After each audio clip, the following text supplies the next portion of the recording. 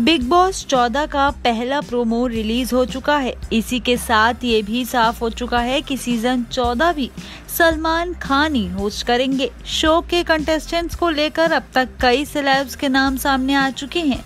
इस फहरिस्त में अब सोशल मीडिया सेंसेशन और अपनी ग्लैमरस अदाओं के लिए फ़ेमस साक्षी चोपड़ा का नाम सामने आया है। मालूम हो, साक्षी चोपड़ा रामायण को बनाने वाले रामानंद सागर की पोती हैं। खबरों के मुताबिक साक्षी को बिग बॉस 2020 के लिए अप्रोच किया गया है। हालाँकि अभी साक्षी की तरफ़ से कोई कंफर्मेशन नहीं दी गई है। साक्षी के बिग बॉस में आने से रियलिटी शो में ग्लैमर का तड़का लगेगा। साक्षी और बिग बॉस के फैंस उन्हें शो में देखने के लिए काफ़ी एक्साइटेड हैं। वैसे इससे पहले भी साक्षी के बिग बॉस में आने की खबरें आई थी, लेकिन ये चर्चाएँ महज अफवाह साबित हुई थी। शो में साक्षी के न दिखने पर उनके फैंस निराश तो हुए थे। साक्षी अपनी बोल्ड और ब्यूटीफुल अवतार को लेकर चर्चा में रहती हैं। साक्षी सिंगर सॉन्ग राइटर हैं। उनकी सोशल मीडिया पर तगड़ी फ़ैन फॉलोइंग है।